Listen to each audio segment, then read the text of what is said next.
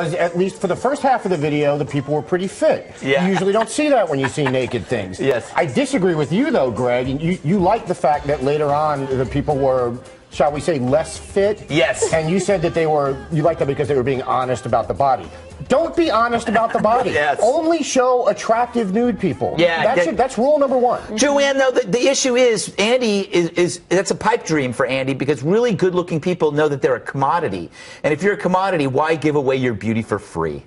Only in Obama's America. Thank you. Some people in the world cannot afford clothes. yes. And we are just so ready and willing to take it all off. That is a slap in their face. It is a slap in their face. There's a whole there's countries of naked people. And this is, uh, we're not even getting into the jiggly bits, jiggling Yes. as you dance. yeah, I know. What, a dancer's belt for guys? Uh, it was invented for a reason. Yeah, no, it's true. But you know what else? What I've learned, uh, there's, uh, and Joe, uh, you've been around uh, a lot. You work out a lot, and I've noticed you look great.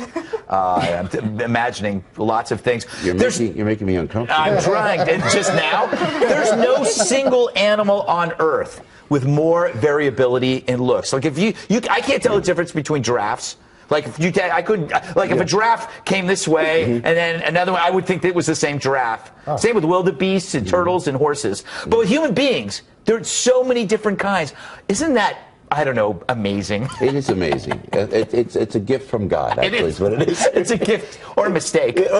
I, but thi- but this, and we both. And I know you've been working out. Yes, and, I and you you are Men's Health. Yes. and we were so into it, and we really enjoyed, you know, you know, using your body to its absolute max. Tell me about That's it. disgusting, Yeah. right? This is disgusting. That's too much. It's like Yeah. you don't need to do that. Yeah, when I, I used to work out a lot, and oftentimes nude, and usually standing over a mirror. Are you going to do a dance here naked in a second? I don't. That's, uh, up. that's in the second hour. I think it's it's it's a little uh, problematic, Greg, that you think.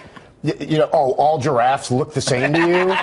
that is com- completely specious. I'm sure to giraffes, we all look the same. Well, you know what? I don't know because they can't talk, can Well, they? you're lucky for you. They're stupid Or you'd be giraffes. locked up. One, one last point before we move on, and this is almost kind of a serious comment, but it, you know what?